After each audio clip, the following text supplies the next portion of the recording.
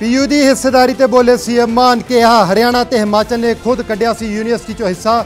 ਪਹਿਲਾਂ ਸਮੇਂ ਸਿਰ ਨਹੀਂ ਮਿਲੀਆਂ ਗ੍ਰਾਂਟਾਂ, ਹੁਣ ਹਿੱਸੇਦਾਰੀ ਪਾਉਣ ਦੀ ਕਰਦੇ ਨੇ ਗੱਲ।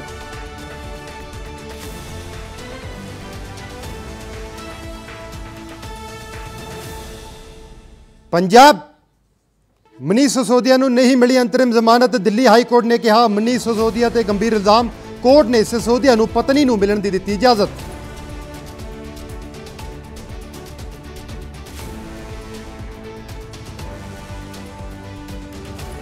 ਅਵਦੇਸ਼ ਰਾਏ ਕਤਲ ਮਾਮਲੇ 'ਚ ਮੁਖਤਾਰ ਅੰਸਾਰੀ ਦੋਸ਼ੀ ਦੋਸ਼ੀ ਕਰਾਰ ਵਾਰਾਣਸੀ ਦੇ ਐਮਪੀ ਐਮਐਲਏ ਕੋਰਟ ਨੇ ਸੁਣਾਈ ਉਮਰ ਕੈਦ ਦੀ ਸਜ਼ਾ, ਸਾਬਕਾ ਵਿਧਾਇਕ ਅਜੇ ਰਾਏ ਦਾ ਭਰਾ ਹੈ। ਅਵਦੇਸ਼ ਰਾਏ 1991 ਵਿੱਚ ਹੋਇਆ ਸੀ ਕਤਲ।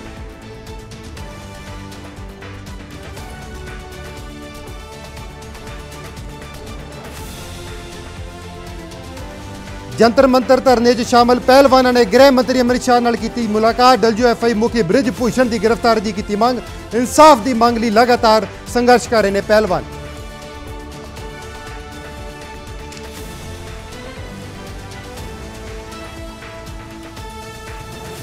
ਸਤਿ ਸ਼੍ਰੀ ਅਕਾਲ ਜੀ, ਤੁਸੀਂ ਦੇਖ ਰਹੇ ਹੋ ਵਰਲਡ ਪੰਜਾਬੀ ਟੀਵੀ ਤੇ ਮੈਂ ਹਾਂ ਤੁਹਾਡੇ ਨਾਲ ਅਮਰਜੀਤ ਸਿੰਘ। ਤੇ ਆਓ ਬੁਲਟਨ ਦੀ ਸ਼ੁਰੂਆਤ ਕਰਦੇ ਹਾਂ ਇਸ ਵਕਤ ਦੀ ਸਭ ਤੋਂ ਵੱਡੀ ਖਬਰ ਤੋਂ। ਦਰਸ਼ਕਾਂ ਨੂੰ ਦੱਸ ਦਈਏ ਆਪ ਵਿਧਾਇਕਾਂ ਦੇ ਵਿਆਹ ਦਾ ਮਾਮਲਾ ਹੁਣ ਗਰਮਾਉਂਦਾ ਜਾ ਰਿਹਾ ਜੀ ਹਾਂ ਦਰਅਸਲ ਪ੍ਰਤਾਪ ਬਾਜਵਾ ਦੇ ਵੱਲੋਂ ਕੁਝ ਦਿਨ ਪਹਿਲਾਂ ਐਮਐਲਏ ਦੇ ਵਿਆਹ ਨੂੰ ਲੈ ਕੇ ਇੱਕ ਬਿਆਨ ਦਿੱਤਾ ਗਿਆ ਸੀ, ਜਿਸ ਨੂੰ ਲੈ ਕੇ ਹੁਣ ਆਪ ਵਿਧਾਇਕਾਂ ਦੇ ਵਿਆਹ ਤੇ ਤੰਜ ਕੱਸਿਆ ਸੀ।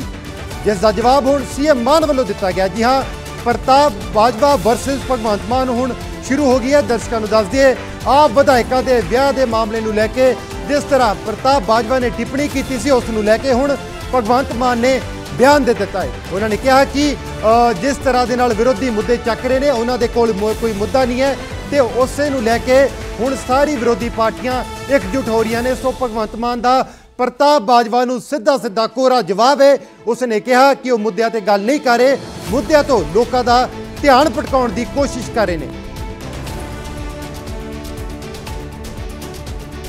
यहाँ ਵਿਆਹ ਵਾਲੇ ਬਿਆਨ ਤੇ ਬਾਜਵਾ ਵਰਸਸ ਸੀਐਮ ਮਾਨ ਹੋ ਚੁੱਕੀ ਹੈ। ਕਾਂਗਰਸ ਤੇ ਆਪ ਦਾ ਪਲਟਵਾਰ ਹੈ।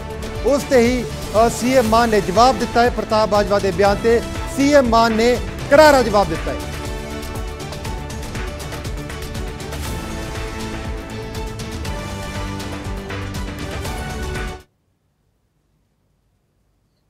ਇੱਕੋ ਕੰਮ ਇਹਨਾਂ ਨੇ ਕੀਤਾ, ਹੋਰ ਕੁਝ ਨਹੀਂ। ਪੰਜਾਬ ਦੇ ਲੋਕਾਂ ਤੋਂ ਮੁਸ਼ਕਲ ਇਹਨਾਂ ਕਿਸੇ ਦਾ ਵਿਆਹ ਹੀ ਨਹੀਂ ਸੀ ਹੋਣਾ।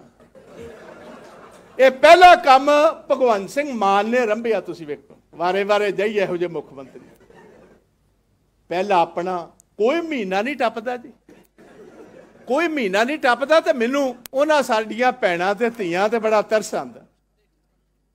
ਜਿਨ੍ਹਾਂ ਨੇ ਚੰਗੀ ਚੰਗੀ ਪੋਜੀਸ਼ਨ 'ਚ ਹੋ ਕੇ ਇਹਨਾਂ ਲੋਕਾਂ ਨਾਲ ਵਿਆਹ ਕਰ ਲਿਆ, ਕਿਉਂਕਿ ਜਿੱਦਣ ਇਹ ਸਰਕਾਰ ਟੁੱਟੀ ਨਾਲ ਹੀ ਇਹਨਾਂ ਦਾ ਕੰਮ ਵੀ ਟੁੱਟ ਜਾਣਾ। ਇਹ ਵਿਆਹ ਕਿਉਂ ਕਰਾਈ ਜਾਂਦੇ ਨੇ ਜੀ? ਆਮ ਆਦਮੀ ਪਾਰਟੀ ਦੇ ਵਿਆਹ ਮੈਨੂੰ ਮਿਲਣ ਦੇ ਵਿਆਹ ਹੋਈ ਜਾਂਦੇ ਨੇ।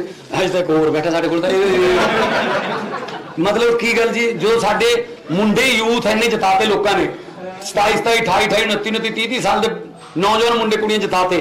ਤੇ ਫਿਰ ਇਹ ਥੋੜੀ ਹੈਗਾ ਕਿ ਜੇ ਐਮਐਲਏ ਨਹੀਂ ਬਣਨਗੇ ਤਾਂ ਵਿਆਹ ਨਹੀਂ ਕਰਾਉਣਾ ਸੀਗਾ ਤੇ ਐਮਐਲਏ ਬਣ ਕੇ ਵਿਆਹ ਕਰਾਉਣਾ ਸੀਗਾ। ਸੋ ਕਿਰਪਾ ਕਰਕੇ ਉਹਨਾਂ ਨੂੰ ਕੋਈ ਮੁੱਦਾ ਅਸਲ 'ਚ ਲੱਭ ਨਹੀਂ ਰਿਹਾ ਹੋਰ ਕੁਝ ਹੈ ਨਹੀਂ। ਉਹ ਇਹੋ ਜਿਹੀਆਂ ਗੱਲਾਂ ਤੇ ਉਤਰੇ ਆਉਂਦੇ ਆ। ਇੱਕੋ ਕੰਮ ਇਹਨਾਂ ਨੇ ਕੀਤਾ। ਸੋ ਦੇਖਿਆ ਕਿਵੇਂ ਪ੍ਰਤਾਪ ਬਾਜਵਾ ਦੇ ਬਿਆਨ ਤੇ ਭਗਵੰਤ ਮਾਨ ਨੇ ਕਰਾਰਾ ਜਵਾਬ ਦਿੱਤਾ। ਉਹਨਾਂ ਨੇ ਕਿਹਾ ਕਿ ਇਹਨਾਂ ਨੂੰ ਕੋਈ ਮੁੱਦਾ ਨਹੀਂ ਲੱਭ ਰਿਹਾ। ਮੁੱਦਿਆਂ ਤੋਂ ਲੋਕਾਂ ਦਾ ਧਿਆਨ ਭਟਕਾਉਣ ਦੀ ਕੋਸ਼ਿਸ਼ ਕੀਤੀ ਜਾ ਰਹੀ ਹੈ। ਸੋ ਭਗਵੰਤ ਮਾਨ ਵਰਸਸ ਪ੍ਰਤਾਪ ਬਾਜਵਾ ਹੁਣ ਸ਼ੁਰੂ ਹੋ ਗਈ ਹੈ। ਜੇਕਰ ਆਪਾਂ ਗੱਲ ਕਰੀਏ ਜੋ ਪ੍ਰਤਾਪ ਬਾਜਵਾ ਨੇ ਬਿਆਨ ਦਿੱਤਾ ਸੀ, ਜਲੰਧਰ ਦੇ ਵਿੱਚ ਉਹਨਾਂ ਨੇ ਬਿਆਨ ਦਿੱਤਾ ਸੀ ਕਿ ਜੋ ਆਮ ਆਦਮੀ ਪਾਰਟੀ ਦੇ ਵਿਧਾਇਕ ਨੇ ਉਹ ਵਿਆਹ ਦਰ ਵਿਆਹ ਕਰਾਈ ਜਾਂਦੇ ਨੇ। ਸੋ ਇਸੇ ਨੂੰ ਲੈ ਕੇ ਹੁਣ ਭਗਵੰਤ ਮਾਨ ਨੇ ਕਰਾਰਾ ਜਵਾਬ ਦੇ ਦਿੱਤਾ ਹੈ। ਸੋ ਇਹ ਵੱਡਾ ਜਵਾਬ ਹੈ। ਕਾਂਗਰਸ ਨੂੰ ਉਹਨਾਂ ਨੇ ਸਿੱਧਾ ਸਿੱਧਾ ਕਹਿ ਦਿੱਤਾ ਕਿ ਕਿ ਮੁੱਦਿਆਂ ਤੋਂ ਭਟਕਾਉਣ ਦੀ ਜੋ ਅਕਸਰ ਸਿਆਸਤਦਾਨ ਦਾ ਕੰਮ ਹੁੰਦਾ ਜੋ ਪੋਲੀਟੀਸ਼ੀਅਨ ਦਾ ਕੰਮ ਹੁੰਦਾ ਕਿ ਲੋਕਾਂ ਦੇ ਮੁੱਦੇ ਸੁਣਨੇ, ਉਹਨਾਂ ਦੇ ਮਸਲਿਆਂ ਦਾ ਹੱਲ ਕਰਾਉਣਾ। ਪਰ ਜੋ ਕਾਂਗਰਸ ਹੈ, ਚਾਹੇ ਕੋਈ ਵੀ ਵਿਰੋਧੀ ਧਿਰ ਹੈ, ਉਸ ਤੋਂ ਹੁਣ ਆਪਣਾ ਧਿਆਨ, ਲੋਕਾਂ ਦਾ ਧਿਆਨ ਭਟਕਾ ਰਹੀ ਹੈ। ਸੋ ਅਜਿਹੀਆਂ ਛੋਟੀਆਂ ਹਰਕਤਾਂ ਤੇ ਜੋ ਵਿਰੋਧੀ ਧਿਰ ਹੈ, ਉਹ ਉਤਰ ਆਈ ਹੈ। ਸੋ ਭਗਵੰਤ ਮਾਨ ਦਾ ਪ੍ਰਤਾਪ ਬਾਜਵਾ ਨੂੰ ਕਰਾਰਾ ਜਵਾਬ ਹੈ।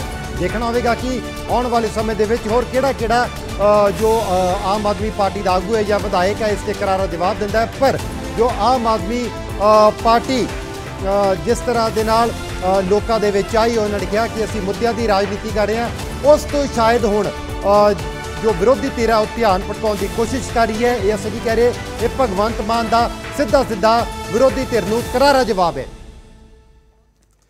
ਸੋ ਹੁਣ ਵਿਆਹ ਵਾਲੇ ਬਿਆਨ ਤੇ ਬਾਜਵਾ ਵਰਸਸ ਮਾਨ ਸ਼ੁਰੂ ਹੋ ਗਈ ਹੈ, ਕਾਂਗਰਸ ਤੇ ਆਪ ਦਾ ਪਲਟਵਾਰ ਹੈ ਜੀ ਹਾਂ, ਆਮ ਆਦਮੀ ਪਾਰਟੀ ਨੇ ਕਾਂਗਰਸ ਨੂੰ ਕਰਾਰਾ ਜਵਾਬ ਦਿੱਤਾ। ਭਗਵੰਤ ਮਾਨ ਨੇ, ਪੰਜਾਬ ਦੇ ਮੁੱਖ ਮੰਤਰੀ ਨੇ ਕਿਹਾ ਕਿ ਜੋ ਲੋਕਾਂ ਦੇ ਮੁੱਦੇ ਨੇ, ਉਹਨਾਂ ਤੋਂ ਕਾਂਗਰਸ ਭਟਕਾ ਹੈ। ਕੋਈ ਵੀ ਵਿਰੋਧੀ ਧਿਰ ਹੋਵੇ, ਉਹਨੇ ਸਿੱਧਾ ਸਿੱਧਾ ਵਿਰੋਧੀ ਧਿਰ ਤੇ ਨਿਸ਼ਾਨਾ ਸਾਧਿਆ। ਚਾਹੇ ਉਹ ਆਮ ਆਦਮੀ ਚਾਹੇ ਮਾਫ ਕਰਨਾ, ਚਾਹੇ ਉਹ ਕਾਂਗਰਸ ਹੋਵੇ, ਚਾਹੇ ਅਕਾਲੀ ਦਲ ਹੋਵੇ, ਚਾਹੇ ਕੋਈ ਹੋਰ ਪਾਰਟੀ ਹੋਵੇ, ਉਹਨਾਂ ਨੇ ਕਿਹਾ ਕਿ ਜੋ ਵਿਰੋਧੀ ਧਿਰ ਹੈ, ਉਹ ਲੋਕਾਂ ਦੇ ਮੁੱਦਿਆਂ ਤੋਂ ਭਟਕ ਰਹੀ ਹੈ, ਮੁੱਦਿਆਂ ਦੀ ਗੱਲ ਨਹੀਂ ਕਰਦੀ। ਉਹ ਨਿੱਜੀ ਟਿੱਪਣੀਆਂ ਤੇ ਉਤਰ ਆਈ ਹੈ। ਵਿਆਹ ਕਰਨਾ ਹਰ ਕੋਈ ਕਰਾਂਦਾ ਹੈ, ਪਰ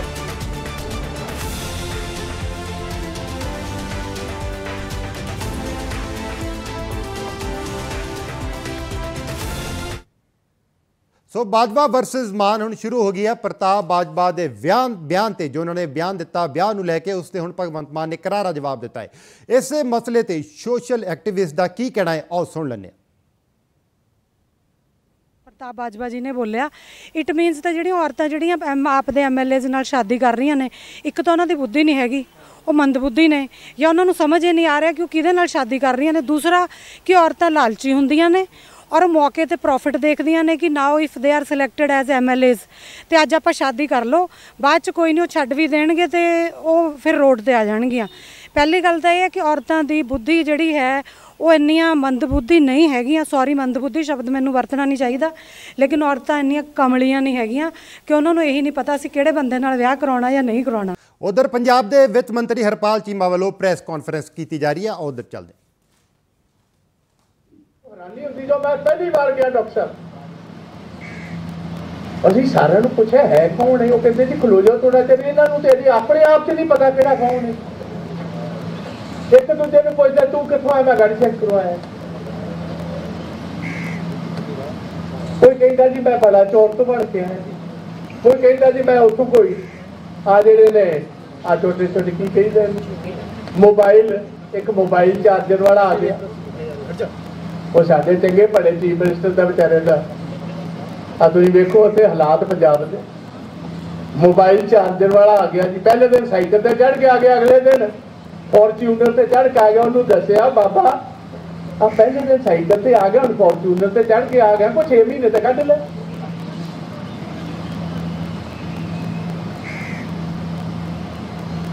ਸੋ ਇਹ ਜਿਹੜਾ ਬਿਆਨ, ਮਾਨਯੋਗ ਸਾਡੇ leader of opposition Punjab Vidhan Sabha ਦੇ ਅੰਦਰ ਵਿਰੋਧ ਧਿਰ ਦੇ ਨੇਤਾ ਪ੍ਰਤਾਪ ਸਿੰਘ ਬਾਜਵਾ ਦਾ ਗਾ।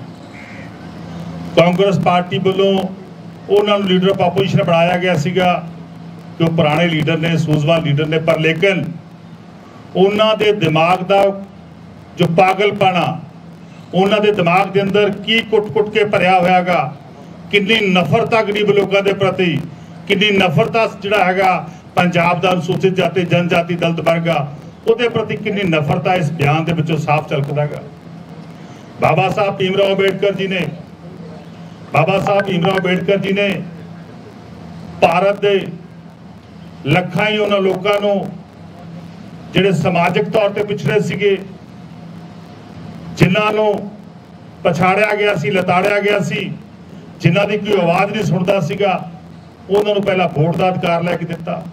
ਪਰ ਉਸ ਤੋਂ ਬਾਅਦ ਜਿੰਨੀਆਂ ਵੀ ਸੰਸਥਾਵਾਂ ਨੇ ਗੀਆਂ ਚਾਹੇ ਦੇਸ਼ ਦੀ ਪਾਰਲੀਮੈਂਟ ਆ, ਚਾਹੇ ਦੇਸ਼ ਦੀ ਲੋਕ ਸਭਾ, ਚਾਹੇ ਰਾਜਾਂ ਦੀਆਂ ਵਿਧਾਨ ਸਭਾਵਾਂ ਨੇ ਗੀਆਂ ਸੰਵਿਧਾਨਕ ਹੱਕ ਬਾਬਾ ਸਾਹਿਬ ਭੀਮ ਰਾਓ ਅੰਬੇਡਕਰ ਜੀ ਨੇ ਲੈ ਕੇ ਦਿੱਤੇ।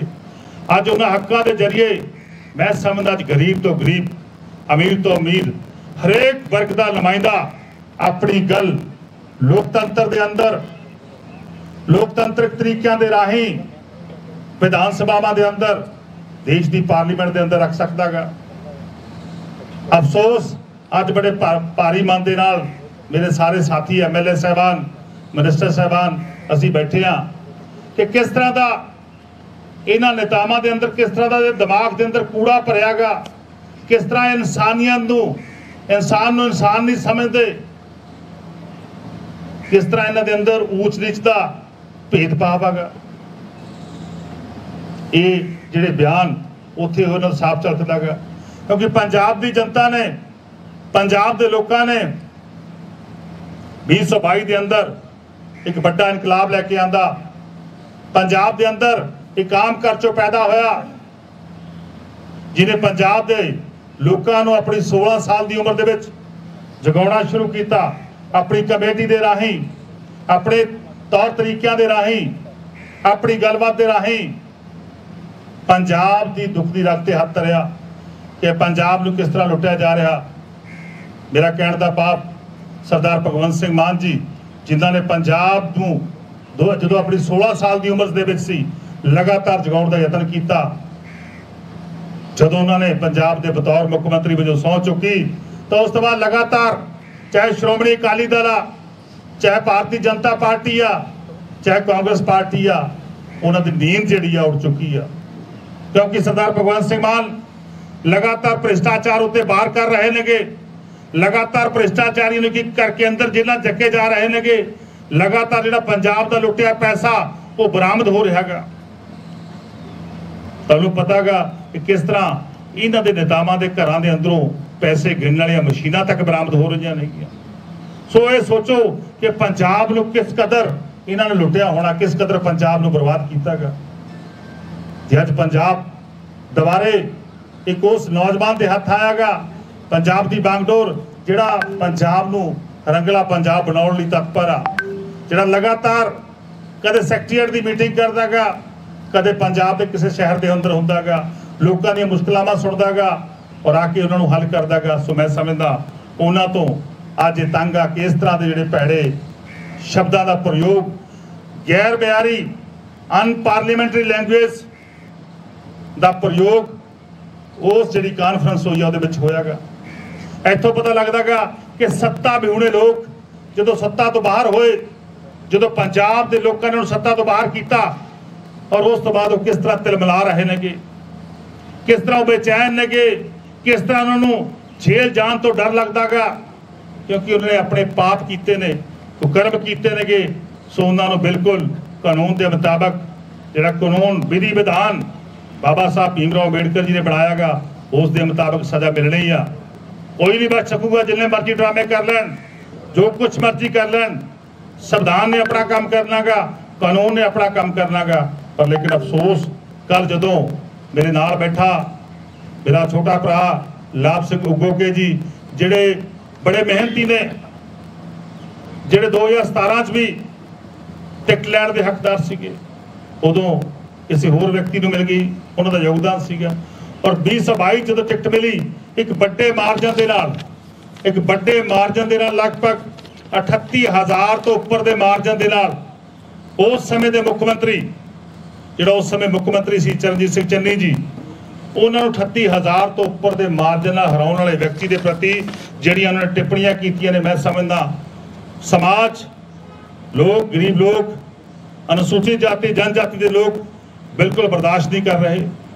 ਸਾਰੇ ਸਮਾਜ ਦੇ ਅੰਦਰ ਤਰਾ ਤਰਾ ਮਚੀ ਪਈ ਹੈ ਕਿ ਕਿਸ ਤਰ੍ਹਾਂ ਇਹ ਲੋਕ ਜਿਹੜੇ ਰਾਜੇ ਰਜਵਾੜੇ ਨੇਗੇ, ਜਿਹੜੇ ਜਿਨ੍ਹਾਂ ਨੇ ਪੰਜਾਬ ਦਾ ਥਾ ਤਨ ਲੁੱਟਿਆਗਾ ਉਹਨਾਂ ਨੂੰ ਆਮ ਲੋਕਾਂ ਦੇ ਘਰਾਂ ਚੋਂ ਚੁਣ ਕੇ ਆਏ ਨੁਮਾਇੰਦੇ ਜਿਹੜੇ ਨੇਗੇ, ਉਹਨਾਂ ਦੇ ਹੱਡੇ ਗਲੀ ਉਤਰ ਨਹੀਂ ਰਹੇ।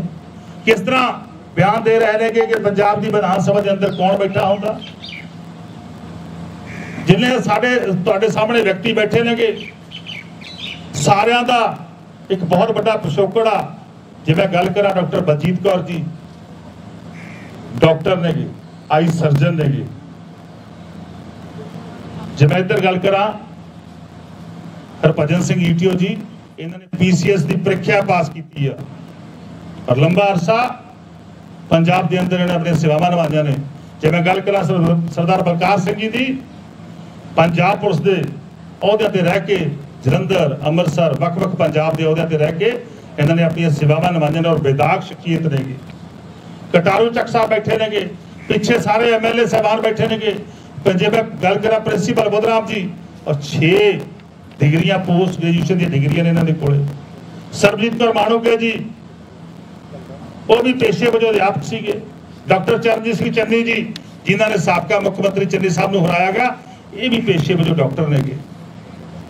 ਮੈਂ ਕਿੰਨੇ ਲੋਕਾਂ ਦਾ ਨਾਮ ਲਵਾਂ ਜਿਹੜੇ ਮੇਰੇ ਨਾਲ ਬੈਠੇ ਨੇਗੇ, ਜਿਨ੍ਹਾਂ ਨੇ ਆਪਣੇ ਦਮ ਦੇ ਉੱਤੇ ਆਪਣੀ ਗਰੀਬੀ ਆਪਣੇ ਪਿੰਡੇ ਤੇ ਹਟਾ ਕੇ ਡਿਗਰੀਆਂ ਹਾਸਲ ਕਰਕੇ ਇਸ ਮੁਕਾਮ ਤੇ ਪਹੁੰਚੇ ਨੇਗੇ। ਸੋ ਉਹਨਾਂ ਨੂੰ ਬੇਇੱਜ਼ਤ ਕਰਨਾ ਇਸ ਗੱਲ ਦੀ ਗਵਾਹੀ ਆ ਕਿ ਕਾਂਗਰਸ ਪਾਰਟੀ ਦੇ ਅੰਦਰ ਉਹ ਲੋਕ ਨੇਗੇ ਜਿਹੜੇ ਦਲਿਤ ਸਮਾਜ ਨੂੰ, ਜਿਹੜੇ ਗਰੀਬ ਸਮਾਜ ਨੂੰ ਜਿਹੜਾ ਬਰਦਾਸ਼ਤ ਨਹੀਂ ਕਰ ਰਹੇ। ਕੋਈ ਜਿਹੜੇ ਪਿਛਲੇ 5 ਸਾਲ, ਅਸੀਂ ਤਾਂ ਪਿਛਲੇ 5 ਸਾਲ ਪਹਿਲੀ ਵਾਰ ਵਿਧਾਨ ਸਭਾ ਚੁਣ ਕੇ ਆਏ ਸੀ, ਦੇਖਦੇ ਹੁੰਦੇ ਤੁਸੀਂ ਗਵਾਹ ਸਾਰੇ, ਤੁਸੀਂ ਗਵਾਹਗੇ। ਇਹ ਕਹਿੰਦਾ ਹੁੰਦਾ ਸੀਗਾ, ਜੀਜਾ ਸਾਵਾ, ਦੂਜਾ ਕਹਿੰਦਾ ਸੀ, ਠੋਕੋ ਤਾਲੀ। ਇਹ ਗੱਲਾਂ ਕਰਦੇ ਸੀ, ਪੰਜਾਬ ਦੇ ਪਵਿੱਤਰ ਵਿਧਾਨ ਸਭਾ ਦੇ ਅੰਦਰ ਉਹਨਾਂ ਨੇ ਲਗਭਗ ਸਾਡੇ 5 ਸਾਲ ਖਰਾਬ ਕੀਤੇ। 5 ਸਾਲ ਪੰਜਾਬ ਦੇ ਲੋਕਾਂ ਦੇ ਬਰਬਾਦ ਕੀਤੇ ਔਰ ਅੰਤ ਵਿੱਚ ਪੰਜਾਬ ਦੇ ਲੋਕਾਂ ਨੇ ਸਬਕ ਸਿਖਾਇਆ। ਇਹ ਦੋਨਾਂ ਨੂੰ ਸਾਡੀ ਛੋਟੀ ਵੱਡੀ ਭੈਣ ਜੀਵਨ ਜੋਤ ਕੌਰ ਨੇ ਹਰਾਇਆ। ਉਹ ਵੀ ਪੇਸ਼ੇ ਵਜੋਂ ਅਧਿਆਪਕ ਨੇ ਔਰ ਮੈਂ ਸਮਝਦਾ ਕਾਨੂੰਨ ਦੇ ਦੇ ਵਿੱਚ ਉਹਨਾਂ ਦਾ ਬਹੁਤ ਵੱਡਾ ਯੋਗਦਾਨ ਹੈ। ਸੋ ਅਸੀਂ ਕਹਿਣ ਦਾ ਪਾਪ ਸਾਡੇ ਕੋਲੇ ਉਹ ਲੋਕ ਨੇਗੇ, ਇਹ ਲੋਕ ਕਿਉਂ ਨਕਾਰੇ ਗਏ? ਇਹ ਤਾਂ ਨਕਾਰੇ ਗਏ ਕਿਉਂਕਿ ਇਹਨਾਂ ਨੇ ਪੰਜਾਬ ਦੇ ਅੰਦਰ ਭ੍ਰਿਸ਼ਟਾਚਾਰ ਦਾ ਬੋਲਬਾਲਾ ਕੀਤਾ।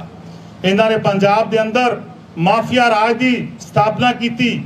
ਇਹਨਾਂ ਨੇ ਪੰਜਾਬ ਨੂੰ ਬਰਬਾਦ ਕਰਨ ਦੇ ਲਈ ਹਰ ਰੋਜ਼ ਡਿਜ਼ਾਈਨ ਤਿਆਰ ਕਰਦੇ ਸੀ ਔਰ ਅੱਜ ਪੰਜਾਬ ਨੂੰ ਬਚਾਉਣ ਦੇ ਲਈ ਪੰਜਾਬ ਨੂੰ ਅੱਗੇ ਲੈ ਕੇ ਜਾਣ ਦੇ ਲਈ, ਪੰਜਾਬ ਨੂੰ ਰੰਗਲਾ ਪੰਜਾਬ ਬਣਾਉਣ ਦੇ ਲਈ ਸਰਦਾਰ ਭਗਵੰਤ ਸਿੰਘ ਮਾਨ ਜੀ ਲਗਾਤਾਰ 24 ਘੰਟੇ ਕੰਮ ਕਰਦੇ ਨੇ। ਇਸੇ ਲਈ ਇਹਨਾਂ ਤੋਂ ਬਰਦਾਸ਼ਤ ਨਹੀਂ ਹੋ ਰਿਹਾ। ਭ੍ਰਿਸ਼ਟਾਚਾਰੀ ਜੇਲ੍ਹਾਂ ਦੇ ਅੰਦਰ ਜਾ ਰਹੇ ਨੇਗੇ ਭ੍ਰਿਸ਼ਟਾਚਾਰ ਪੰਜਾਬ ਵਿੱਚੋਂ ਖਤਮ ਹੋ ਚੁੱਕਿਆ। ਜਿਹੜਾ ਸ਼ਰਾਬ ਦਾ ਮਾਫੀਆ, ਜਿਹੜੇ ਜਿੰਨੇ ਦੂਸਰੇ ਮਾਫੀਏ, ਟਰਾਂਸਪੋਰਟ ਦੇ ਮਾਫੀਏ, ਜਿਹੜੇ ਪੰਜਾਬ ਦੇ ਅੰਦਰ ਇਹਨਾਂ ਨੇ 15 15 20 20 ਸਾਲ ਲਾ ਕੇ ਖੜੇ ਹੋਏ ਕੀਤੇ ਸੀਗੇ, ਜਿਹੜਾ ਮੈਂ ਸਮਝਦਾ, ਜਿਹੜਾ ਪੈਸਾ ਖਜ਼ਾਨੇ ਚ ਆਉਣਾ ਚਾਹੀਦਾ ਸੀਗਾ। ਉਹ ਪੈਸਾ ਇਹਨਾਂ ਦੇ ਘਰਾਂ 'ਚ ਜਾਂਦਾ ਸੀ, ਇਹਨਾਂ ਦੇ ਪੇਟਾਂ 'ਚ ਜਾਂਦਾ, ਢਿੱਡਾਂ 'ਚ ਜਾਂਦਾ ਸੀਗਾ। ਅੱਜ ਉਹ ਪੈਸਾ ਖਜ਼ਾਨੇ 'ਚ ਆ ਰਿਹਾ, ਬਰਦਾਸ਼ਤ ਨਹੀਂ ਹੋ ਰਿਹਾ। ਇਹਨਾਂ ਦੀ ਬਰਦਾਸ਼ਤ ਤੋਂ ਬਾਹਰ ਆ ਗਿਆ ਸੋ ਬਿਲਕੁਲ, ਮੈਂ ਕਾਂਗਰਸ ਪਾਰਟੀ ਦੇ ਪ੍ਰਧਾਨ ਸੋਨੀਆ ਗਾਂਧੀ ਜੀ ਨੂੰ, ਰਾਹੁਲ ਗਾਂਧੀ ਜੀ ਨੂੰ, ਜਿਹੜੇ ਕਾਂਗਰਸ ਪਾਰਟੀ ਦੇ ਹੁਣ ਪ੍ਰਧਾਨ ਨੇ ਮਲਕ ਅਰਜਨ ਖੜਗੇ ਜੀ ਨੂੰ, ਮੇਰੀ ਬੇਨਤੀ ਆ, ਤਾੜਨਾ ਵੀ ਬੇਨਤੀ ਵੀ ਆ ਕਿ ਤੁਰੰਤ ਪ੍ਰਤਾਪ ਬਾਜਵੇ ਨੂੰ। ਇਸ ਤਰ੍ਹਾਂ ਦੀਆਂ ਗੈਰ ਮਿਆਰੀ ਟਿੱਪਣੀਆਂ ਦਲਤ ਸਮਾਜ ਦੇ ਪ੍ਰਤੀ ਨਫ਼ਰਤ ਭਰਿਆ ਵਤੀਰੇ ਦੇ ਕਾਰਨ ਤੁਰੰਤ ਪਾਰਟੀ ਵਿੱਚੋਂ ਬਰਖਾਸਤ ਕੀਤਾ ਜਾਵੇ। ਤੁਰੰਤ ਉਹਨਾਂ ਨੂੰ ਪਾਰਟੀ ਚੋਂ ਕੱਢਿਆ ਜਾਵੇ। ਔਰ ਦੂਜੇ ਪਾਸੇ ਮੈਂ ਪ੍ਰਤਾਪ ਬਾਜਵਾ ਜੀ ਨੂੰ ਵੀ ਕਹਿਣਾਗਾ ਕਿ ਤੁਹਾਨੂੰ ਇੱਕ ਹਫ਼ਤੇ ਦਾ ਸਮਾਂਗਾ ਤੁਸੀਂ ਇੱਕ ਹਫ਼ਤੇ ਦੇ ਅੰਦਰ ਜਨਤਕ ਤੌਰ ਦੇ ਉੱਤੇ ਸਾਡੇ ਇਸ ਨੌਜਵਾਨ ਤੋਂ ਔਰ ਸਮੂਹ, ਦਲਤ ਭਾਈਚਾਰੇ ਤੋਂ, ਸਮੂਹ ਪੰਜਾਬੀਆਂ ਤੋਂ ਮਾਫੀ ਮੰਗੋ, ਨਹੀਂ ਤੁਹਾਡੇ ਖਿਲਾਫ ਐਕਸ਼ਨ ਲਿਆ ਜਾਊਗਾ। ਅਸੀਂ ਕਾਨੂੰਨੀ ਸਲਾਹ ਲਵਾਂਗੇ ਕਿ ਉਹਨਾਂ ਦੇ ਖਿਲਾਫ ਕੀ ਕਾਰਵਾਈ ਕਰਨੀ ਆ, ਕਿਉਂਕਿ ਪੰਜਾਬ ਦੇ ਅੰਦਰ ਇਸ ਤਰ੍ਹਾਂ ਦੇ ਬਿਆਨ ਪਹਿਲੀ ਵਾਰ ਸਾਹਮਣੇ ਆ ਰਹੇ ਨੇ, ਇਸ ਤਰ੍ਹਾਂ ਦੀ ਗੰਦੀ ਸਿਉੜੀ ਜਿਹੜੀ ਸਿਆਸਤ ਆ, ਉਹ ਸਾਹਮਣੇ ਆ ਰਹੀ ਆ। ਸੋ ਬਿਲਕੁਲ ਉਹਨਾਂ ਦੇ ਖਿਲਾਫ ਜੇਕਰ ਉਹਨਾਂ ਦੇ ਇੱਕ 'ਚ ਮਾਫੀ ਨਾ ਮੰਗੀ, ਤਾਂ ਉਹਨਾਂ ਦੇ ਖਿਲਾਫ ਐਕਸ਼ਨ ਲਿਆ ਜਾਊਗਾ। ਔਰ ਮੇਰੀ ਦੂਜੇ ਪਾਸੇ ਕਾਂਗਰਸ ਦੇ ਪ੍ਰਧਾਨ ਸਾਹਿਬਾਨ ਨੂੰ ਬੇਨਤੀ ਆ ਕਿ ਤੁਰੰਤ ਉਹਨਾਂ ਨੂੰ ਆਪਣੀ ਪਾਰਟੀ ਚੋਂ ਕੱਢਿਆ ਜਾਵੇ, ਤੁਰੰਤ ਉਹਨਾਂ ਦੇ ਖਿਲਾਫ ਐਕਸ਼ਨ ਲਿਆ ਜਾਵੇ। ਹੁਣ ਮੈਂ ਸਾਡੇ ਮੇਰੇ ਸਾਥੀ ਸਰਦਾਰ ਲਾਭ ਸਿੰਘ ਉਗਕੇ ਨੂੰ ਬੇਨਤੀ ਕਰੂੰਗਾ ਕਿ ਉਹ ਜ਼ਰੂਰ ਇਹਨਾਂ ਟਿੱਪਣੀਆਂ ਜਿਹੜੀਆਂ ਉਹਨਾਂ ਨੇ ਕੀਤੀਆਂ ਉਹਦਾ ਜਵਾਬ ਦੇਣਗੇ। ਲਾਭ ਸਿੰਘ ਜੀ। ਸਭ ਤੋਂ ਪਹਿਲਾਂ ਤਾਂ ਪਹੁੰਚੇ ਹੋਏ ਸਾਰੇ ਪ੍ਰੈਸ ਦੇ ਸਾਥੀਆਂ ਦਾ ਬਹੁਤ ਬਹੁਤ ਧੰਨਵਾਦ।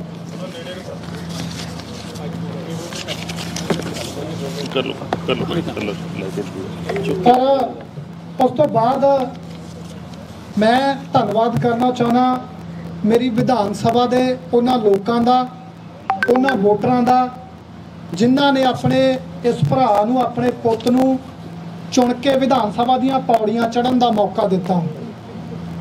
ਸੋ ਮੈਂ ਹਮੇਸ਼ਾ ਹਰਿਣੀ ਰਵਾਂਗਾ ਹਮੇਸ਼ਾ ਨਤਮਸਤਕ ਰਵਾਂਗਾ ਭਦੌੜ ਦੇ ਹਰ ਇੱਕ ਉਸ ਵੋਟਰ ਦਾ ਜਿਨੇ ਮਿਹਨਤ ਦੇ ਨਾਲ ਆਪਣੇ ਲੋਕਾਂ ਦੇ ਫੈਸਲੇ ਲੈਣ ਦੇ ਲਈ ਸਾਨੂੰ ਜਿਹੜਾ ਪੰਜਾਬ ਦੀ ਵਿਧਾਨ ਸਭਾ ਦੇ ਵਿੱਚ ਭੇਜਿਆ। ਪਰ ਉਸ ਤੋਂ ਬਾਅਦ ਜਿਹੜਾ 3 ਦਿਨ ਪਹਿਲਾਂ ਪ੍ਰਤਾਪ ਸਿੰਘ ਬਾਜਵਾ ਜੀ ਜਿਹੜੇ ਕਾਂਗਰਸ ਦੇ ਬੜੇ ਪੁਰਾਣੇ ਆਗੂ ਆ, ਬੜੇ ਸੀਨੀਅਰ ਨੇਤਾ ਸੋ ਉਹਨਾਂ ਦਾ ਇੱਕ ਬਿਆਨ ਆਉਂਦਾ ਤੇ ਉਹ ਕਹਿੰਦੇ ਆ ਕਿ ਵਿਧਾਨ ਸਭਾ ਦੇ ਵਿੱਚ ਸਾਡੇ ਸਾਹਮਣੇ ਕੌਣ ਲੋਕ ਆ ਕੇ ਬੈਠ ਗਏ ਨੇ? ਤੇ ਉਹਨਾਂ ਦੇ ਬਿਆਨ ਦੇ ਵਿੱਚ ਉਹ ਕਹਿੰਦਾ ਕਿ ਇਹ ਨਿੱਕੇ ਨਿੱਕੇ ਘਰਾਂ ਦੇ ਵਿੱਚੋਂ ਆਏ ਹੋਏ ਇੱਕ ਮੋਬਾਈਲ ਰਿਪੇਅਰ ਕਰਨ ਵਾਲੀ। ਮਤਲਬ ਉਹਨਾਂ ਦੀ ਸੋਚ, ਉਹਨਾਂ ਦੀ ਮਾਨਸਿਕਤਾ, ਤੁਸੀਂ ਉਹਨਾਂ ਦੇ ਸ਼ਬਦਾਂ ਦੇ ਵਿੱਚੋਂ ਪਕੜ ਸਕਦੇ ਹੋ ਕਿ ਕਿਸ ਤਰ੍ਹਾਂ ਉਸ ਬੰਦੇ ਦੇ ਦਿਮਾਗ ਦੇ ਵਿੱਚ ਕਿਰਤ ਕਰਨ ਵਾਲੇ ਲੋਕਾਂ ਦੇ ਪ੍ਰਤੀ ਜਾਂ ਦਲਿਤ ਸਮਾਜ ਦੇ ਪ੍ਰਤੀ ਕਿੰਨਾ ਗੁੱਸਾ ਭਰਿਆ ਹੋਊ, ਜਿਹੜਾ ਉਹਨੇ ਆਪਣੇ ਇੱਕ ਅੱਧੇ ਮਿੰਟ ਦੀ ਵੀਡੀਓ ਦੇ ਵਿੱਚ ਉਹ ਜ਼ਹਿਰ ਉਗਲਿਆ ਉਹਨਾਂ ਕਿਰਤੀ ਲੋਕਾਂ ਦੇ ਲਈ, ਉਹਨਾਂ ਮਜ਼ਦੂਰਾਂ ਦੇ ਲਈ ਜਾਂ ਉਹਨਾਂ ਜਿਹੜੇ ਦਲਿਤ ਸਮਾਜ ਦੇ ਲੋਕ ਨੇ ਉਹਨਾਂ ਦੇ ਲਈ। ਸੋ ਉਹਨਾਂ ਦੀ ਇਸ ਸੋਚ ਨੂੰ ਲੈ ਕੇ ਅੱਜ ਜਿਹੜੀ ਅਸੀਂ ਪ੍ਰੈਸ ਕਾਨਫਰੰਸ ਕਰ ਰਹੇ ਹਾਂ, ਸੋ ਮੈਂ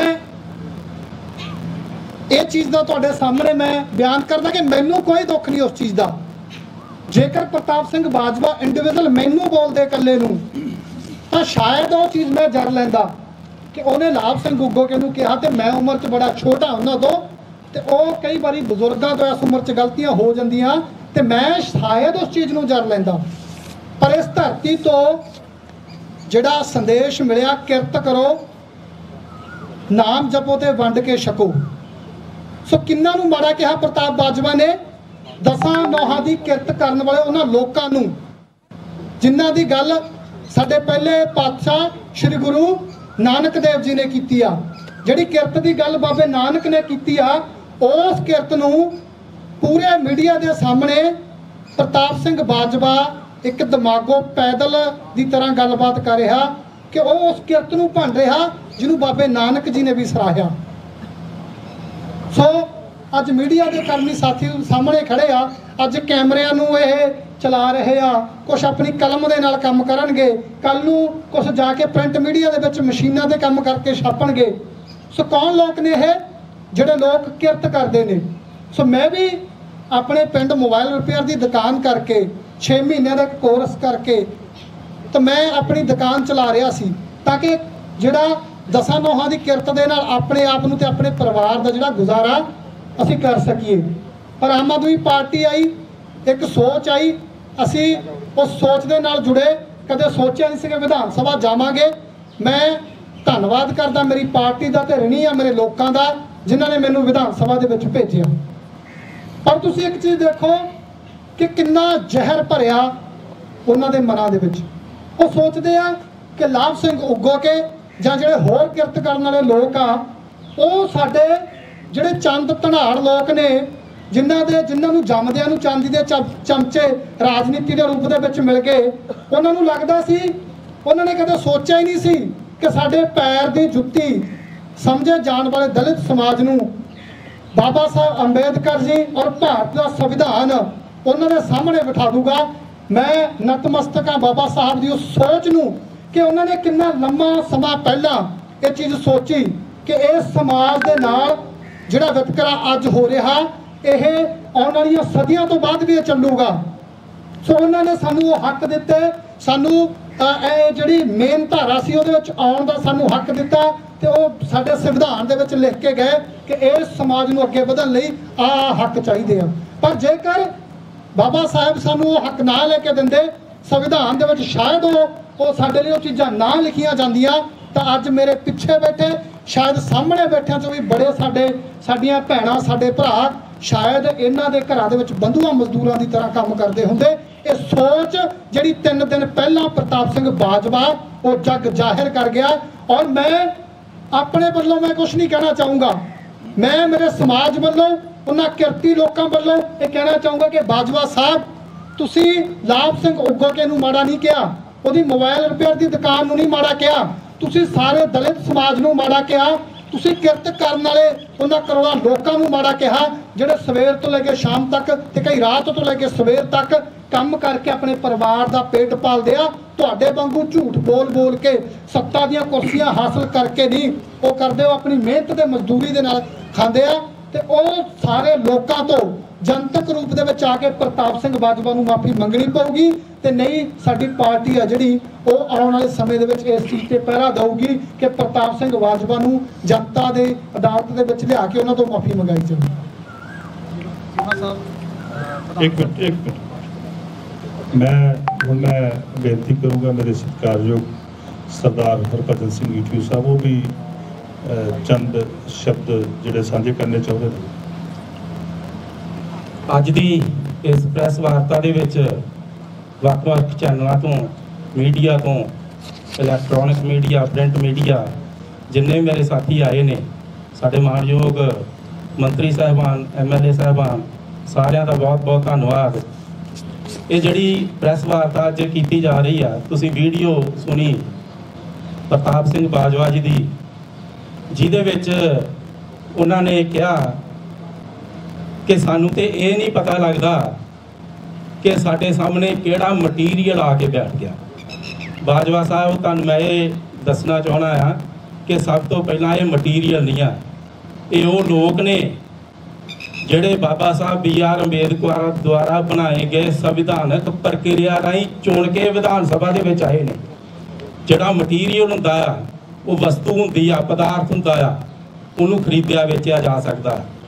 ਇਹ ਜਿਹੜੇ ਨੁਮਾਇੰਦੇ ਚੁਣ ਕੇ ਆਏ ਨੇ, ਲੱਖਾਂ ਲੋਕਾਂ ਦੇ ਪ੍ਰਤੀਨਿਧਤਾ ਕਰਕੇ, ਪ੍ਰਤੀਨਿਧਤਾ ਕਰਦੇ ਹੋਏ ਇੱਕ ਸੰਵਿਧਾਨਕ ਪ੍ਰਕਿਰਿਆ ਰਾਹੀਂ ਵਿਧਾਨ ਸਭਾ ਦੇ ਵਿੱਚ ਦਾਖਲ ਹੋਏ ਨੇ। ਤੁਸੀਂ ਉਹਨਾਂ ਨੂੰ ਮਟੀਰੀਅਲ ਦੱਸ ਕੇ ਆਪਣੀ ਸੌੜੀ ਮਾਨਸਿਕਤਾ ਦਾ ਜਿਹੜਾ ਆ, ਪ੍ਰਗਟਾਵਾ ਕਰ ਦਿੱਤਾ। ਕਿਉਂਕਿ ਤੁਸੀਂ ਤੇ ਤੁਹਾਡੀ ਪਾਰਟੀ ਵਾਕਿਆ ਹੀ ਇਹਨਾਂ ਲੋਕਾਂ ਨੂੰ ਇੱਕ ਪਦਾਰਥ ਸਮਝਦੀ ਰਹੀ ਆ। ਇੱਕ ਵਸਤੂ ਸਮਝਦੀ ਰਹੀ ਆ ਕਿ ਕੋਈ ਗੱਲ ਨਹੀਂ, ਇਹਨਾਂ ਦਾ ਕੀ ਆ? ਨਾ ਇਹਨਾਂ ਕੋਲ ਜ਼ਿਆਦੀਆਂ ਜ਼ਮੀਨਾਂ, ਨਾ ਜਾਇਦਾਦਾਂ। ਇਹਨਾਂ ਦਾ ਕੀ ਆ? ਇਹਨਾਂ ਨੂੰ ਜਦੋਂ ਮਰਜ਼ੀ ਖਰੀਦ ਲਵਾਂਗੇ, ਜਦੋਂ ਮਰਜ਼ੀ ਵੇਚ ਲਵਾਂਗੇ। ਇਸ ਮਾਨਸਿਕਤਾ ਦਾ ਕਰਕੇ ਤੁਹਾਡੀ ਜ਼ੁਬਾਨ ਦੇ ਉੱਤੇ ਇਹ ਸ਼ਬਦ ਆਏ ਨੇ। ਪਰ ਮੈਂ ਤੁਹਾਨੂੰ ਸਪਸ਼ਟ ਕਰਨਾ ਚਾਹਣਾ ਕਿ ਜਿੰਨੇ ਜਾਣੇ ਇੱਥੇ ਅੱਜ ਅਸੀਂ ਬੈਠੇ ਆ ਇਹ ਸ਼੍ਰੀ ਅਰਵਿੰਦ ਕੇਜਰੀਵਾਲ ਜੀ ਦੇ, ਭਗਵੰਤ ਮਾਨ ਜੀ ਦੇ, ਇਹ ਉਹ ਸਿਪਾਹੀ ਨੇ, ਨਾ ਇਹ ਝੁਕਣ ਵਾਲੇ ਨੇ ਤੇ ਨਾ ਇਹ ਵਿਕਣ ਵਾਲੇ ਨੇ। ਆਪਣੀ ਮਾਨਸਿਕਤਾ ਜਿਹੜੀ ਆ, ਉਹਨੂੰ ਛੱਡ ਦਿਓ ਹੁਣ। ਖਤਮ ਕਰ ਦਿੱਤੀ ਲੋਕਾਂ ਨੇ ਤੁਹਾਡੀ 2022 ਦੇ ਵਿੱਚ ਇਹ ਮਾਨਸਿਕਤਾ ਕਿ ਇਹਨਾਂ ਨੂੰ ਵਸਤੂਆਂ ਸਮਝਣਾ ਆ, ਇਹਨਾਂ ਨੂੰ ਪਦਾਰਥ ਸਮਝਣਾ ਆ। ਇਹ ਮਾਨਸਿਕਤਾ ਤੇ ਲੋਕਾਂ ਨੇ ਪਹਿਰਾ ਦੇ ਕੇ ਲੋਕਾਂ ਨੇ ਆਪਣੇ ਹੱਕ ਦਾ ਇਸਤੇਮਾਲ ਕਰਦਿਆਂ ਹੋਇਆ ਸਾਨੂੰ ਵਿਧਾਨ ਸਭਾ ਦੇ ਵਿੱਚ ਭੇਜਿਆ, ਨਾ ਕਿ ਅਸੀਂ ਤੁਹਾਡੀ ਰਹਿਮੋ ਕਰਮ ਦੇ ਉੱਤੇ ਵਿਧਾਨ ਸਭਾ ਦੇ ਵਿੱਚ ਦਾਖਲ ਹੋਏ ਆ। ਮੇਰੇ ਛੋਟੇ ਵੀਰ ਸਰਦਾਰ ਲਾਭ ਸਿੰਘ ਉੱਕੋ ਕੇ, ਜਿਹੜੇ ਬਹੁਤ ਮਿਹਨਤੀ ਪਰਿਵਾਰ ਚੋਂ ਨੇ ਬੜਾ ਵ- ਵੱਡਾ ਸੰਘਰਸ਼ ਕੀਤਾ। ਅੱਜ ਵਿਧਾਨ ਸਭਾ ਦੀਆਂ ਪੌੜੀਆਂ ਚੜ ਗਏ ਤੇ ਤੁਹਾਨੂੰ ਗੱਲ ਹੀ ਨਹੀਂ ਪਚ ਰਹੀ।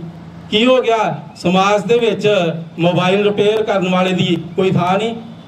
ਉਹਦਾ ਜੀਡੀਪੀ ਦੇ ਵਿੱਚ, ਦੇਸ਼ ਦੇ ਤਰੱਕੀ ਦੇ ਵਿੱਚ ਕੋਈ ਹਿੱਸਾ ਨਹੀਂ। ਕੋਈ ਬੰਦਾ ਲੇਬਰ ਕੰਸਟਰਕਸ਼ਨ ਕਰ ਰਿਹਾ, ਉਹਦਾ ਦੇਸ਼ ਦੀ ਤਰੱਕੀ ਦੇ ਵਿੱਚ ਹਿੱਸਾ ਨਹੀਂ। ਕਿਸੇ ਨੇ ਕੋਈ ਦੁਕਾਨ ਪਾਈ ਆ, ਕਿਸੇ ਨੇ ਰੇਹੜੀ ਫੜੀ ਲਾਈ ਆ, ਕੋਈ ਕੰਮ ਕਰ ਰਿਹਾ ਈਵਨ ਇੱਥੋਂ ਤੱਕ ਕਿ ਘਰਾਂ ਦੇ ਵਿੱਚ ਲੋਕਾਂ ਦੇ ਜਿਹੜੇ ਕੰਮ ਕਰ ਰਹੇ ਨੇ, ਕਿ ਉਹਨਾਂ ਦੇ ਦੇਸ਼ ਦੀ ਤਰੱਕੀ ਦੇ ਵਿੱਚ ਕੋਈ ਹਿੱਸਾ ਨਹੀਂ? ਤੁਸੀਂ ਉਹਨਾਂ ਲੋਕਾਂ ਨੂੰ ਅੱਜ ਤੱਕ ਲੋਕ ਹੀ ਨਹੀਂ ਸਮਝ ਰਿਹਾ। ਤੁਸੀਂ ਅੱਜ ਤੱਕ ਉਹਨਾਂ ਨੂੰ ਵੋਟਰ ਹੀ ਨਹੀਂ ਸਮਝਿਆ। ਤੁਸੀਂ ਜੇ ਜਿਨ੍ਹਾਂ ਲੋਕਾਂ ਨੂੰ ਤੁਸੀਂ ਅੱਜ ਤੱਕ ਵੋਟਰ ਹੀ ਨਹੀਂ ਸਮਝਿਆ, ਤੇ ਅੱਜ ਤੁਹਾਡੀ ਸਥਿਤੀ ਇਹ ਹੋ ਗਈ ਆ ਕਿ ਅੱਜ ਤੁਹਾਡੇ ਸਾਹਮਣੇ ਉਹ ਵਿਧਾਇਕ ਤੇ ਮੰਤਰੀ ਬਣ ਕੇ ਬੈਠ ਗਏ ਨੇ। ਤੁਹਾਨੂੰ ਇਹ ਗੱਲ ਜਿਹੜੀ ਆ, ਇਹ ਸਤਾਈ ਜਾ ਰਹੀ ਆ ਔਰ ਇਹ ਸਤਾਉਂਦੀ ਰਹੂਗੀ। ਸਤਾਉਂਦੀ ਰਹੂਗੀ, ਕਿਉਂ ਸਤਾਉਂਦੀ ਰਹੂਗੀ? ਕਿਉਂਕਿ ਅੱਜ ਤੱਕ ਦੀ 70 75 ਸਾਲ ਦੀ ਜਿੰਨੀ ਤੁਸੀਂ ਤੇ ਤੁਹਾਡੀ ਪਾਰਟੀ ਨੇ ਰਾਜਨੀਤੀ ਕੀਤੀ ਆ, ਤੁਸੀਂ ਵਾਕਿਆ ਹੀ ਸੌੜੀ ਮਾਨਸਿਕਤਾ ਦੇ ਨਾਲ ਲੋਕਾਂ ਦੇ ਸਾਹਮਣੇ ਆਇਓ, ਜਿਹੜਾ ਬਾਬਾ ਸਾਹਿਬ ਅੰਬੇਦਕਰ ਨੇ ਇਕੁਐਲਿਟੀ ਦਾ ਕਨਸੈਪਟ ਦਿੱਤਾ ਸੀਗਾ, ਸਮਾਨਤਾ ਦਾ ਕਨਸੈਪਟ ਦਿੱਤਾ ਸੀਗਾ, ਕਿ ਸਾਰਾ ਸਮਾਜ ਬਰਾਬਰ ਆ। ਸਾਡੇ ਗੁਰੂਆਂ ਫਕੀਰਾਂ ਨੇ, ਪੀਰਾਂ ਫਕੀਰਾਂ ਨੇ ਸਾਰਾ ਇੱਕੋ ਹੀ ਕਿਹਾ ਸੀਗਾ ਕਿ ਇਨਸਾਨੀਅਤ ਇੱਕ ਆ। ਮਾਨਸ ਕੀ ਜਾਤ ਸਭ ਏਕੇ ਪਹਿਚਾਨ ਬੋ। ਤੁਸੀਂ ਉਹ ਗੱਲ ਮੰਨੀ ਨਹੀਂ।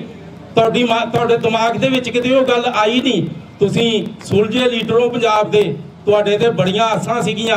ਦਲਿਤ ਸਮਾਜ ਸਮਾਜ ਵੀ ਬੜੇ ਲੰਬੇ ਸਮੇਂ ਤੋਂ ਤੁਹਾਨੂੰ ਵੋਟਾਂ ਪਾ ਕੇ ਤੇ ਜਿਹੜਾ ਸੱਤਾ ਦੇ ਵਿੱਚ ਲਿਆਉਂਦਾ ਰਿਹਾ ਆ, ਪਰ ਅੱਜ ਸਾਰੇ ਪੰਜਾਬ ਦੇ ਪੂਰੇ ਭਾਰਤ ਦੇ ਦਲਿਤ ਸਮਾਜ ਨੂੰ ਗੱਲ ਸਮਝ ਆ ਗਈ ਆ ਕਿ ਤੁਸੀਂ ਮਾਨਸਿਕਤਾ ਕੋਈ ਹੋਰ ਰੱਖੀ ਸੀਗੀ ਤੇ ਸਾਨੂੰ ਐਵੇਂ ਗਰੀਬੀ ਹਟਾਓ ਦੇ ਨਾਰੇ ਦੇ ਕੇ ਸਾਡੀਆਂ ਵੋਟਾਂ ਜਿਹੜੀਆਂ ਉਹ ਲੈਂਦੇ ਰਹੇ।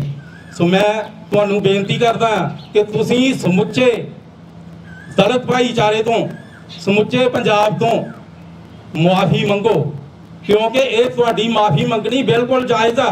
ਕੋਈ ਗੱਲ ਨਹੀਂ ਤੁਹਾਡੇ ਮੂੰਹ ਤੇ ਗੱਲ ਆ ਗਈ ਤੁਹਾਡੇ ਨਿਕਲ ਆਈ। ਤੁਸੀਂ ਸਮੁੱਚੇ ਦਲਿਤ ਭਾਈਚਾਰੇ ਤੋਂ ਮਾਫੀ ਮੰਗੋ ਜੇ ਤੁਹਾਡੇ ਦੇ ਵਿੱਚ ਕੋਈ ਤੁਹਾਨੂੰ ਲੱਗਦਾ ਆ ਕਿ ਮੈਂ ਇੱਕ ਚੰਗਾ ਰਾਜਨੀਤਿਕ ਆ, ਮੈਂ ਇੱਕ ਚੰਗਾ ਸੂਬੇ ਨੂੰ ਅਗਵਾਈ ਦੇ ਸਕਦਾ ਆ, ਤੇ ਫਿਰ ਗਲਤੀ ਤੋਂ ਬਾਅਦ ਗਲਤੀ ਮੰਨਣਾ ਵੀ ਜਿਹੜਾ ਆ, ਉਹ ਰਾਜਨੀਤਿਕ ਬੰਦੇ ਦਾ ਫਰਜ਼ ਹੁੰਦਾ ਹੈ। ਤੇ ਜੇ ਤੁਸੀਂ ਨਹੀਂ ਮੰਨਦੇ, ਤੇ ਤੁਹਾਡੀ ਉਹੀ ਮਾਨਸਿਕਤਾ ਜਿਹੜੀ ਪੁਰਾਣੀ ਆ, ਉਹ ਅੱਜ, ਪਹਿਲਾਂ ਵੀ ਸੀਗੀ, ਅੱਜ ਵੀ ਆ, ਤੇ ਸਮੁੱਚਾ ਦਲਿਤ ਭਾਈਚਾਰਾ ਸਮਝੂਗਾ ਕਿ ਤੁਹਾਡੀ ਉਹੀ ਮਾਨਸਿਕਤਾ ਅੱਗੇ ਰਾਜਨੀਤੀ ਦੇ ਵਿੱਚ ਚਾਲੂ ਰਹੂਗੀ ਸੋ ਤੁਹਾਡਾ ਸਾਰਿਆਂ ਦਾ ਬਹੁਤ ਬਹੁਤ ਧੰਨਵਾਦ। ਬਾਕੀ ਜੋ, ਜੇ ਉਹ ਨਹੀਂ ਇਸ ਤਰ੍ਹਾਂ ਕਰਦੇ ਤੇ ਜੋ ਪਾਰਟੀ ਦਾ ਐਕਸ਼ਨ ਆ, ਉਹ ਬਾਅਦ ਦੇ ਵਿੱਚ ਤੁਹਾਨੂੰ ਮੀਡੀਆ ਦੇ ਵਿੱਚ ਜ਼ਰੂਰ ਦੱਸਿਆ ਜਾਊਗਾ।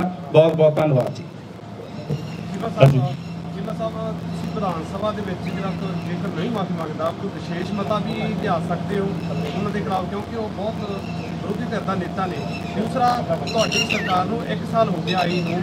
ਹੋ ਸਕਦਾ ਹੈ ਐਸਸੀ ਕਮਿਸ਼ਨ ਦੇ ਚੇਅਰਮੈਨ ਹੁੰਦਾ, ਉਹ ਨੋਟਿਸ ਵੀ ਬਰਾਬਰ ਲੈਂਦਾ ਤੱਕ ਚੇਅਰਮੈਨ ਨਹੀਂ ਲਾਇਆ, ਉਹ ਕਦੋਂ ਤੱਕ ਲਾਊਗਾ ਬਿਲਕੁਲ ਅਸੀਂ ਇਹਨੂੰ ਸਾਡੀ ਪਾਰਟੀ ਪੰਜਾਬ ਦੇ ਮਾਨਯੋਗ ਮੁੱਖ ਮੰਤਰੀ ਸਰ ਭਗਵੰਤ ਸਿੰਘ ਮਾਨ, ਜਿਹੜੇ ਕਿ ਪੰਜਾਬ ਦੀ ਆਮ ਆਦਮੀ ਪਾਰਟੀ ਦੇ ਪ੍ਰਧਾਨ ਵੀ ਨੇ, ਬਿਲਕੁਲ ਅਸੀਂ ਇਹ ਮਾਮਲਾ ਵਿਚਾਰਾਂਗੇ ਕਿ ਕਿਹੜਾ ਐਕਸ਼ਨ ਲੈਣਾਗਾ, ਪਰ ਲੇਕਿਨ ਹਾਲੇ ਅਸੀਂ ਤੁਹਾਨੂੰ ਸੂਚਿਤ ਕਰਾਂਗੇ ਸਾਰਿਆਂ ਨੂੰ ਕਿ ਕੀ ਐਕਸ਼ਨ ਲੈ ਰਹੇ ਸੋ ਇੱਕ ਹਫ਼ਤੇ ਦਾ ਸਮਾਂ ਦਿੱਤਾ ਉਹਨਾਂ ਨੂੰ, ਜੇਕਰ ਉਹ ਆਪਣੀ ਅਪੋਲੋਜੀ ਟੈਂਡਰ ਕਰਦੇ ਨੇ ਤਾਂ ਉਹਨਾਂ ਨੂੰ ਜਿਹੜਾ ਹੈਗਾ ਲਾਭ ਸਮੂਗੇਗੇ ਜੀ ਬਿਲਕੁਲ ਅਸੀਂ ਵਿਚਾਰ ਕਰਾਂਗੇ ਜੇਕਰ ਨਹੀਂ ਕਰਦੇ ਤਾਂ ਉਹਨਾਂ ਦੇ ਖਿਲਾਫ ਜਿਹੜਾ ਵੀ ਕਾਨੂੰਨੀ ਤੌਰ ਤੇ ਜਿਹੜਾ ਬਣਦਾ ਹੋਊ ਐਕਸ਼ਨ ਉਹ ਜ਼ਰੂਰ ਲਿਆ ਜਾਊਗਾ ਉਹ ਜਲਦੀ ਅਪਾਇੰਟ ਕਰ ਦੇਣਗੇ भाजपा के खिलाफ होगा या कांग्रेस के खिलाफ करेंगे क्या ये जो प्रदर्शन करेंगे अगर वो माफी नहीं मांगते हैं तो ये दोनों कांग्रेस के खिलाफ होगा या प्रताप भाजपा के खिलाफ नहीं दोनों के खिलाफ होगा क्योंकि वो कांग्रेस पार्टी के की तरफ़ से लीडर ऑफ़ अपोजिशन है अपोजिशन के नेता हैं, उनके खिलाफ तो होगा ही होगा, उनकी पार्टी के खिलाफ भी होगा, क्योंकि उनकी पार्टी की मानसिकता है। मैं तो बोल चुका हूँ कि मैडम सोनिया गांधी जी को, राहुल गांधी जी को, मल्लिकार्जुन खड़गे जी को, उनको तुरंत पार्टी से बाहर निकालने चाहिए। वो एक तरफ़ तो बोल रहे हैं कि हम देश के करोड़ों लोगों की हम को साथ लेके आगे बढ़ेंगे दूसरी तरफ हमारे समाज के तरफ ऐसी विवादित टिप्पणियां कर रहे हैं मैं समझता हूँ वो हमारी बात मानेंगे तुरंत बाजवा साहब को बाहर निकालेंगे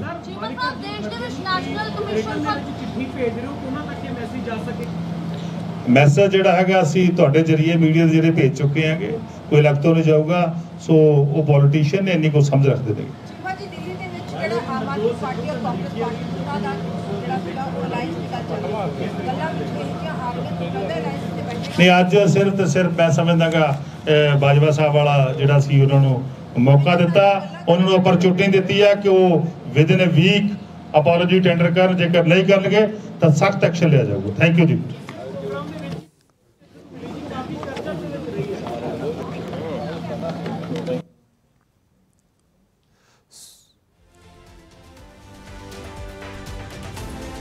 ਸੋ ਤੁਸੀਂ ਦੇਖਿਆ ਕਿਵੇਂ ਹਰਪਾਲ ਚੀਮਾ ਪੰਜਾਬ ਦੇ ਵਿੱਤ ਮੰਤਰੀ ਨੇ ਸਿੱਧਾ ਸਿੱਧਾ ਕਾਂਗਰਸ ਨੂੰ, ਯਾਨੀ ਕਿ ਉਹਨਾਂ ਦੇ ਸੀਨੀਅਰ ਲੀਡਰਸ ਨੂੰ, ਚਾਹੇ ਸੋਨੀਆ ਗਾਂਧੀ ਹੋਵੇ, ਚਾਹੇ ਰਾਹੁਲ ਗਾਂਧੀ ਹੋਵੇ, ਚਾਹੇ ਖੜਗੇ ਸਾਹਿਬ ਹੋਣ, ਉਹਨਾਂ ਨੂੰ ਅਲਟੀਮੇਟਮ ਦਿੱਤਾ ਕਿ ਇਹਨਾਂ ਤੇ ਕਾਰਵਾਈ ਕਰੋ। ਨਾਲ ਦੀ ਨਾਲ ਉਹਨਾਂ ਨੇ ਪ੍ਰਤਾਪ ਬਾਜਵਾ ਨੂੰ ਵੀ ਕਹਿ ਦਿੱਤਾ ਹੈ ਕਿ ਇੱਕ ਹਫ਼ਤੇ ਦੇ ਅੰਦਰ ਅੰਦਰ ਜਨਤਕ ਤੌਰ ਤੇ ਮਾਫੀ ਮੰਗਣ ਨਹੀਂ ਤਾਂ ਅਸੀਂ ਕਾਰਵਾਈ ਕਰਾਂਗੇ। ਜੀ ਹਾਂ ਪ੍ਰਤਾਪ ਬਾਜਵਾ ਨੇ ਆਮ ਆਦਮੀ ਪਾਰਟੀ ਦੇ ਜੋ ਭਦੌੜ ਤੋਂ ਵਿਧਾਇਕ ਨੇ ਉਹਨਾਂ ਦੇ ਖਿਲਾਫ ਟਿੱਪਣੀ ਦਿੱਤੀ ਸੀ। ਅ, ਸ਼ਬਦ ਬੋਲੇ ਸਨ ਉਸ ਨੂੰ ਲੈ ਕੇ ਹੁਣ ਆਮ ਆਦਮੀ ਪਾਰਟੀ ਨੇ ਪ੍ਰੈਸ ਕਾਨਫਰੰਸ ਕੀਤੀ ਉਹਨਾਂ ਨੇ ਸਿੱਧਾ ਸਿੱਧਾ ਅਲਟੀਮੇਟਮ ਦੇ ਦਿੱਤਾ। ਪ੍ਰਤਾਪ ਸਿੰਘ ਬਾਜਵਾ ਨੂੰ ਵਿਰੋਧੀ ਧਿਰ ਦੇ ਆਗੂ ਨੂੰ ਕਿ ਜੇਕਰ ਤੁਸੀਂ ਇੱਕ ਹਫ਼ਤੇ ਦੇ ਅੰਦਰ ਅੰਦਰ ਮਾਫੀ ਮੰਗਦੇ ਹੋ ਤਾਂ ਠੀਕ ਹੈ ਜਨਤਕ ਤੌਰ ਤੇ ਮਾਫੀ ਮੰਗਦੇ ਹੋ ਤਾਂ ਠੀਕ ਹੈ, ਨਹੀਂ ਤਾਂ ਅਸੀਂ ਤੁਹਾਡੇ ਖਿਲਾਫ ਐਕਸ਼ਨ ਲਵਾਂਗੇ।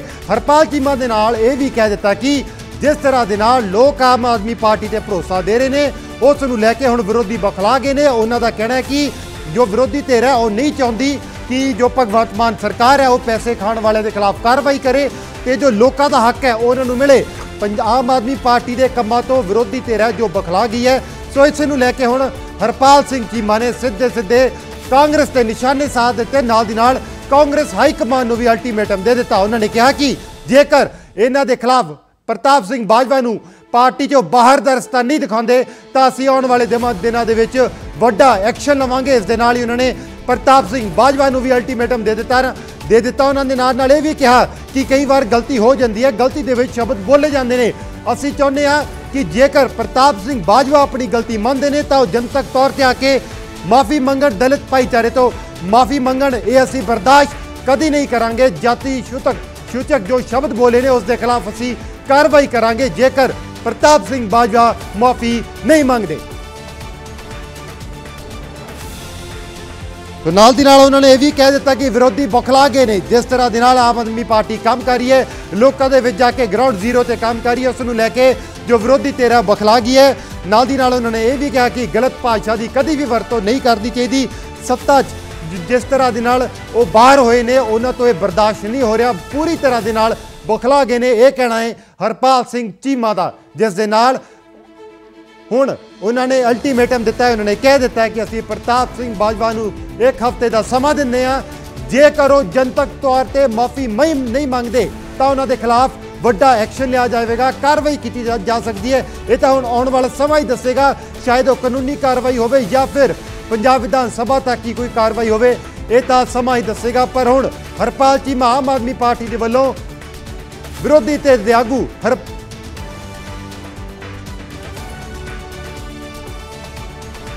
ਪ੍ਰਤਾਪ ਬਾਜਵਾ ਨੂੰ ਅਲਟੀਮੇਟਮ ਦੇ ਦਿੱਤਾ ਹੈ। ਉਹਨਾਂ ਨੇ ਕਹਿ ਦਿੱਤਾ ਹੈ ਕਿ ਜੇਕਰ ਉਹ ਜਨਤਕ ਤੌਰ ਤੇ ਮਾਫੀ ਨਹੀਂ ਮੰਗਦੇ, ਤਾਂ ਉਹਨਾਂ ਦੇ ਖਿਲਾਫ ਵੱਡਾ ਐਕਸ਼ਨ ਲਿਆ ਜਾਵੇਗਾ। ਇੱਕ ਹਫ਼ਤੇ ਦਾ ਹਰਪਾਲ ਚੀਮਾ ਨੇ ਪ੍ਰਤਾਪ ਸਿੰਘ ਬਾਜਵਾ ਨੂੰ ਸਮਾਂ ਦਿੱਤਾ ਹੈ ਸਮਾਂ ਦੇ ਦਿੱਤਾ ਹੈ। ਪ੍ਰਤਾਪ ਸਿੰਘ ਬਾਜਵਾ ਨੂੰ ਬਰਖਾਸਤ ਕਰਨ ਦੀ ਮੰਗ ਕੀਤੀ ਗਈ ਹੈ ਹਾਈ ਕਮਾਂਡ ਦੇ ਕੋਲੋਂ। ਤੇ ਨਾਲ ਹੀ ਨਾਲ ਕਹਿ ਦਿੱਤਾ ਹੈ ਕਿ ਜੇਕਰ ਉਹਨਾਂ ਕੋ ਗਲਤੀ ਹੋਈ ਹੈ, ਗਲਤੀ ਮੰਨਦੇ ਨੇ, ਤਾਂ ਉਹ ਜਨਤਕ ਤੌਰ ਤੇ ਆ ਕੇ ਆਪਣੀ ਮਾਫੀ ਮੰਗਣ। ਇਸ ਦੇ ਨਾਲ ਹਰਪਾਲ ਸਿੰਘ ਚੀਮਾ ਨੇ ਇਹ ਵੀ ਕਿਹਾ ਕਿ ਜਨਤਾ ਦੇ ਪ੍ਰਤੀ ਜੋ ਇਹਨਾਂ ਦਾ ਜ਼ਹਿਰ ਸੀ, ਜੋ ਗਰੀਬਾਂ ਦੇ ਪ੍ਰਤੀ ਮਿਹਨਤ ਕਰਨ ਵਾਲੇ, ਕਿਰਤ ਕਰਨ ਵਾਲੇ ਲੋਕਾਂ ਦੇ ਪ੍ਰਤੀ ਜੋ ਇਹਨਾਂ ਦਾ ਜ਼ਹਿਰ ਸੀ, ਉਹ ਹੁਣ ਬਾਹਰ ਨਿਕਲਿਆ ਆ, ਉਹ ਹੁਣ ਜਗ ਜਗ ਜਗ ਜ਼ਾਹਿਰ ਹੋ ਗਿਆ। ਜੋ ਕਾਂਗਰਸ ਦੀ ਮਾਨਸਿਕਤਾ ਹੈ, ਉਹ ਹੁਣ ਉਜਾਗਰ ਹੋ ਚੁੱਕੀ ਹੈ। ਇਹ ਹਰਪਾਲ ਸਿੰਘ ਚੀਮਾ ਦੇ ਬਿਆਨ ਨੇ ਵਿਰੋਧੀ ਧਿਰ ਦੇ ਆਗੂ ਹਰਪਾ ਪ੍ਰਤਾਪ ਸਿੰਘ ਬਾਜਵਾ ਦੇ ਪ੍ਰਤੀ। ਤੋਂ ਬਾਜਵਾ ਨੂੰ ਇੱਕ ਹਫ਼ਤੇ ਦਾ ਹਰਪਾਲ ਸਿੰਘ ਚੀਮਾ ਨੇ ਸਮਾਂ ਦੇ ਦਿੱਤਾ ਦੇ ਦਿੱਤਾ ਹੈ। ਜਨਤਕ ਤੌਰ ਤੇ ਮਾਫੀ ਮੰਗਣ ਦੀ ਵੀ ਗੱਲ ਕਹੀ ਹੈ। ਉਹਨਾਂ ਨੇ ਕਿਹਾ ਕਿ ਜਨਤਾ ਦੇ ਸਾਹਮਣੇ ਆ ਕੇ ਤੁਸੀਂ ਮਾਫੀ ਮੰਗੋ। ਜੇਕਰ ਤੁਸੀਂ ਮਾਫੀ ਨਹੀਂ ਮੰਗਦੇ ਇੱਕ ਹਫ਼ਤੇ ਦੇ ਅੰਦਰ ਅੰਦਰ, ਤਾਂ ਅਸੀਂ ਤੁਹਾਡੇ ਖਿਲਾਫ ਵੱਡਾ ਐਕਸ਼ਨ ਲਵਾਂਗੇ।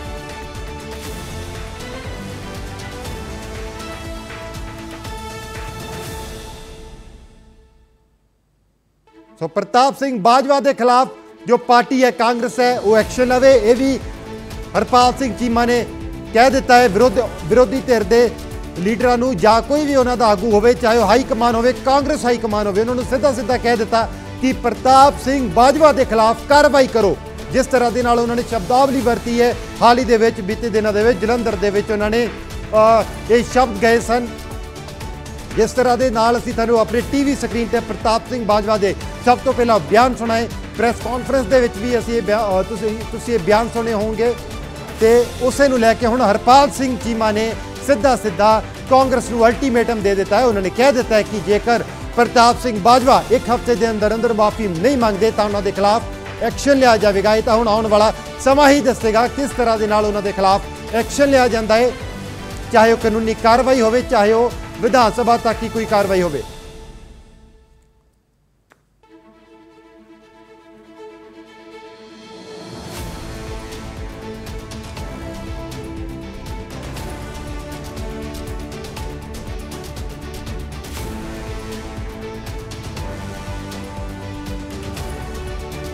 ਸੋ ਇਹ ਤਾਂ ਆਉਣ ਵਾਲਾ ਸਮਾਂ ਹੀ ਦੱਸੇਗਾ ਕਿ ਵਿਰੋਧੀ ਧਿਰ ਦਾ ਆਗੂ ਸਿੰਘ ਬਾਜਵਾ ਦੇ ਖਿਲਾਫ ਕਿਹੜੀ ਕਾਰਵਾਈ ਹੁੰਦੀ ਹੈ। ਸੋ ਇਹ ਸਮਾਂ ਹੀ ਦੱਸੇਗਾ। ਤੁਸੀਂ ਬਣੇ ਰਹੋ ਵਰਲਡ ਪੰਜਾਬੀ ਟੀਵੀ ਦੇ ਨਾਲ। ਮੈਨੂੰ ਦਿਓ ਇਜਾਜ਼ਤ। ਧੰਨਵਾਦ।